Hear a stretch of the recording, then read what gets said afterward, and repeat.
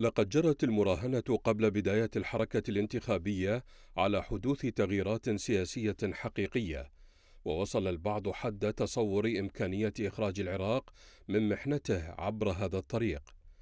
كانت نقطة البداية أن جرى استهداف تغيير مفوضية الانتخابات كشرط لإحداث أي تغيير في طبيعة وولاءات الشخصيات المتحكمة في لعبة الانتخابات وفي إفرازاتها، لكن المراهنة فشلت وظلت المفوضية على حالها.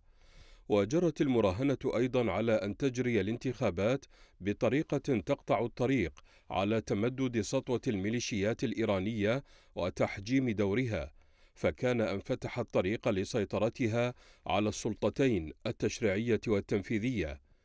خلع الميليشياويون ملابس القتل الملطخة بدماء الشعب العراقي، وأصبحوا الآن على رأس قوائم في الانتخابات.